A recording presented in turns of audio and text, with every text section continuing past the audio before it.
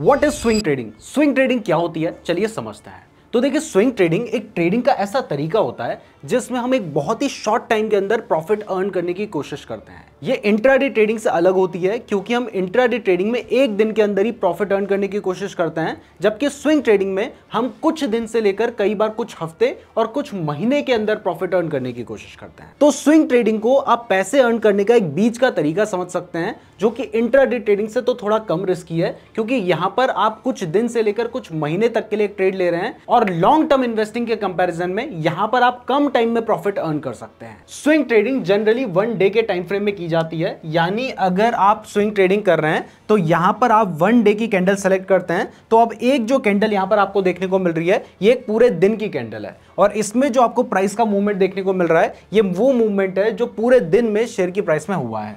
अब इस बेसिस पर आप चार्ट को एनालाइज करते हैं। अब जैसे मान लीजिए, आपने देखा कि बार बार इस जगह पर आने के बाद शेयर की प्राइस बढ़ जा रही थी। ये सिर्फ़ एक एग्ज़ाम्पल है तो एग्ज़ाम्पल की तरह ही लीजिएगा।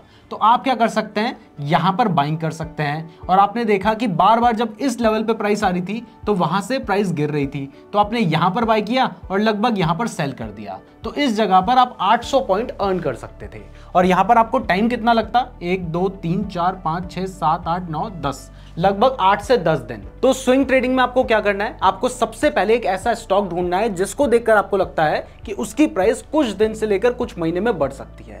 जिसके पीछे आपको टेक्निकल एनालिसिस करना होगा, आपको प्राइस एक्शन लगा के देखना होगा सपोर्ट रेजिस्टेंस लगा के देखना होगा। यहाँ पर आप मूविंग एवरेज क्रॉसओवर स्ट्रेटजी का भी यूज़ कर सकते हैं। तो इस बेसिस पर आपको एक स्टॉक सेलेक्ट करना होगा। अब जब आपने एक स्टॉक सेलेक्ट कर लिया है, उसके बाद आपको उसमें एंट्री लेनी है। ऐसी जगह पर लेनी है जहाँ पर आपको लगता है कि मूवमेंट आएगा और जैसे ही उसमें मूवमेंट आ जाता है और प्राइस अच्छी खासी बढ़ जाती है, आपने वहाँ पर सेल करके निकल जाना है। स्विंग ट्रेडिंग की सबसे अच्छी बात यह होती है कि यहाँ पर काफ़ी सारी जो बेसिक स्ट्रेटजीज हैं, वो भी सही तरीके से काम करती हैं। जबकि इंट्राडे ट्रेडिंग या ऑप्शंस ट्रेडिंग की बात करें तो वहाँ पर क्योंकि टाइम पीरियड कम होता है, इसलिए स्ट्रेटजीज उतने बेटर तरीके से काम नहीं करती है। तो ये होती है स्विंग ट्रेडिंग स्विंग ट्रेडिंग करने के लिए आपको टेक्निकल एनालिसिस की नॉलेज होनी चाहिए। तो अगर आप टेक्निकल एनालिसिस के बारे में डिटेल में सीखना चाहते हैं तो यूट्यूब में सर्च करें नीरज जोशी टेक्निकल एनालिसिस और ये वाली वीडियो देखें। और हाँ अगर आप ट्रेडिंग के लिए बेस्ट डीमेट अकाउंट खुलवाना चाहते हैं तो कुछ अच्छे डीमेट अकाउंट के लिंक हमने आपको डिस्क्रिप्शन पे दे रखे हैं। आप वहाँ से अपना फ्री डीमेट अकाउंट खुलवा सकते हैं। धन्यवाद।